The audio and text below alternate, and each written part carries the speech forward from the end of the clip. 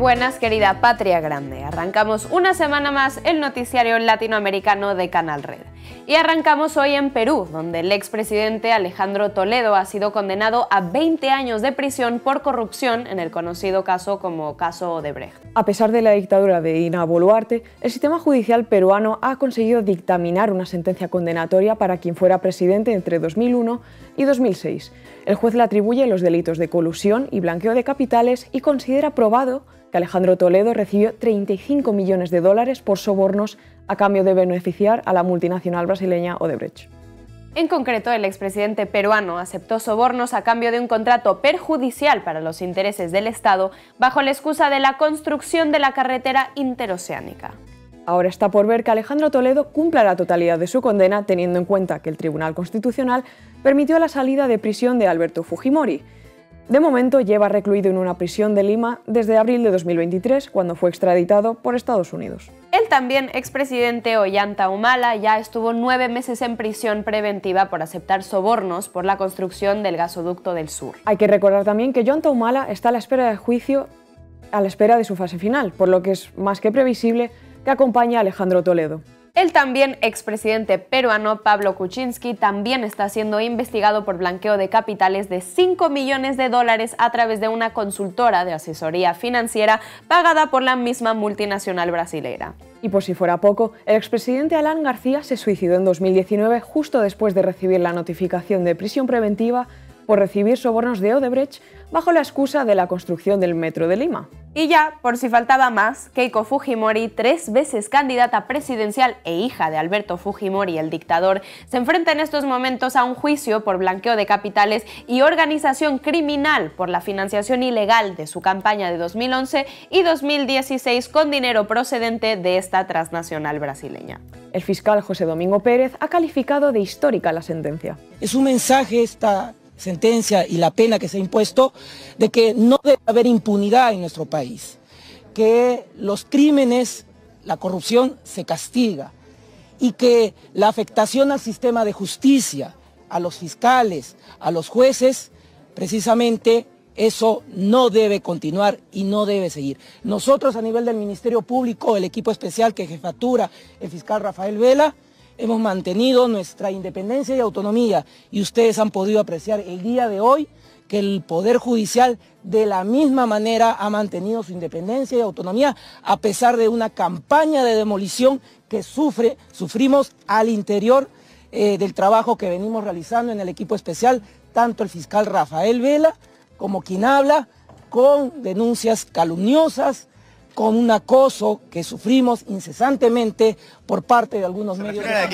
Y nos vamos de Perú hasta Venezuela y seguimos hablando de corrupción. La Fiscalía ha detenido al exministro de Petróleo y presidente de la empresa pública de hidrocarburos del país caribeño, Pedro Telechea, ha sido detenido junto a sus colaboradores y se le acusa de graves delitos que atentan contra los más altos intereses de la nación. En concreto, la Fiscalía le acusa de entregar el sistema de control y mando automatizado, lo que se conoce como el cerebro de la potente empresa pública de petróleos, a una empresa controlada por los servicios de inteligencia de Estados Unidos. El presidente Nicolás Maduro nombró a Telechea presidente de PDVSA en enero de 2023, justamente después de la destitución del anterior gerente, que también fue investigado por una trama de corrupción en la petrolera estatal. En la última remodelación del Ejecutivo, llevada a cabo en agosto, Nicolás Maduro nombró a Telechea como ministro de Industrias y Promoción Nacional y en su lugar puso a Delcy Rodríguez, que en estos momentos es también la vicepresidenta del país. Sin embargo, sorpresivamente el exministro Telechea renunció la semana pasada por motivos de salud, o al menos eso fue lo que él mismo dijo cuando se marchó del gobierno. Diosdado Cabello, ministro de Relaciones Interiores, Justicia y Paz de Venezuela, se ha referido a la detención del exministro petrolero. Caiga quien caiga. Lamentamos profundamente, claro que sí. Lo lamentamos porque a nadie se le da una responsabilidad para que entregue el cerebro de la empresa donde están al imperialismo norteamericano. Cabe destacar que esa empresa que tenía el control en el año 2002 es una empresa norteamericana. Es una empresa de los Estados Unidos. Y es la misma empresa a la cual le estaban entregando el, el manejo de la industria petrolera nacional. Imagínense ustedes para dónde íbamos. El agujero donde íbamos a caer. Se estaba preparando otro 11 de abril para la investigación. Se está llevando igual a altísimos niveles técnicos y profesionales. De Venezuela vamos hasta Cuba, que esta semana ha sufrido un apagón total en lo que es ya la crisis energética más grave que ha vivido el país. Los apagones han dejado a más de la mitad del país sin electricidad y las pérdidas superan ya los 250 millones de dólares, según ha detallado Bruno Rodríguez, ministro de Relaciones Exteriores. Por su parte, el presidente cubano Miguel Díaz Canel ha señalado a las políticas de persecución financiera de Estados Unidos como responsables de la crisis energética. Díaz Canel ha asegurado que el bloqueo económico de Estados Unidos contra Cuba limita el acceso a suministros esenciales de combustible necesarios para el funcionamiento del sistema eléctrico. En esta misma línea, el gobierno chino ha exigido a Estados Unidos levantar el bloqueo contra Cuba para que pueda desarrollarse y salir de la crisis económica que padece. Este jueves, Cuba ha recuperado su sistema eléctrico, aunque muchos hogares siguen sin luz, lo que ha provocado protestas ciudadanas. El gobierno de Estados Unidos ha mostrado su preocupación por el posible impacto humanitario de los apagones en Cuba. Y lejos de admitir cualquier responsabilidad por el bloqueo económico sobre la isla, la administración de Biden culpa al gobierno cubano de su mala gestión. Del Caribe nos vamos ahora al Río de la Plata, al paisito, porque mañana domingo se celebran elecciones en Uruguay, país gobernado por una coalición de centro-derecha desde 2019. Todas las encuestas otorgan una amplia ventaja al izquierdista Frente Amplio, que supera el 40% de intención de voto en todos los sondeos. La duda está en si el Frente Amplio, cuyo candidato a presidente es Yamandu Orsi, supera el 50% de los sufragios y gana sin necesidad de ir al balotaje. Serán claves para este domingo el 14% de ciudadanos que expresan no tener decidido aún su voto. El Frente Amplio hace campaña con la aspiración de superar el 50% y ganar en primera vuelta. Nos une la convicción de que es un país que puede crecer y mucho en las distintas áreas. Nos une la convicción de que es un país que puede cuidar mucho mejor a su gente. Y por eso en el programa está bien cuando se dice el país que nos cuida.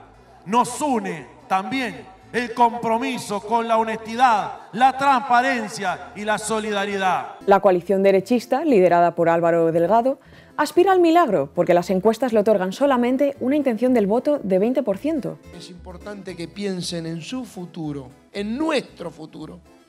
Y lo digo ya no como candidato, lo digo como padre, lo digo como ciudadano.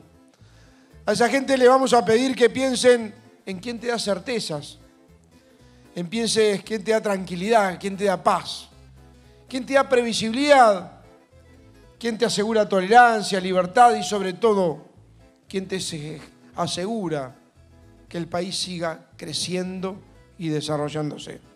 Porque la alternativa es volver al pasado. Y justamente en un mitin del partido mayoritario del Frente Amplio, el Movimiento de Participación Popular, se ha despedido de su militancia el expresidente Pepe Mujica, aquejado de un cáncer.